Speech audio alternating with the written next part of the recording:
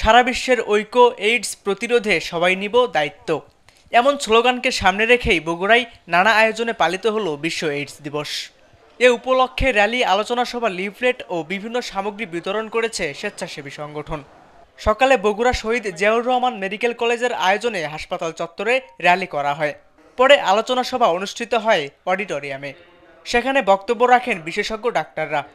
বাংলাদেশে এইচআইভি বিস্তারণের পথে আমরা হয়তো ভেবেছিলাম যে স্বল্প সংখ্যক কেস আছে, এটা অনায়াসে এটা নিয়ন্ত্রণ করা যাবে। কিন্তু আসলে তা না। যে যে রক্ত দেয় বা যে রক্ত নেয়, সরল বিশেষ রক্তটা নেয়, নিয়ে পড়ে, বিপদে পড়ে যায়। যার উদাহরণ আমরা আজকে দেখতে পেলাম যে সে রক্ত নিয়েছে এটা ভালো মানুষ, একটা নিষ্পাপ মানুষ।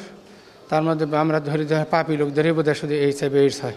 তাহলে একটা নিষ্পাপ মানুষ সেই শুধুমাত্র এই এতটুকু, একটা রক্তর স্ক্রিনিং করতে কয় টাকা? দুইশো টাকা বা পাঁচশো টাকা? এতটুকুর জন্য তার তার স্ত্রীর অসচেতন ভাই এবং তার গর্ভের যে সন্তান, সেও এই এইচ আইভি রোগে আক্রান্ত হয়ে গেছে। অপরদিকে শহরের সাত মাথায় জনসচেতনতা বৃদ্ধির লক্ষ্যে এইচ আইভি এইডস সংক্রান্ত লিফলেট, কন্ডোম সহ নানা উপকরণ বিতরণ করা হয়।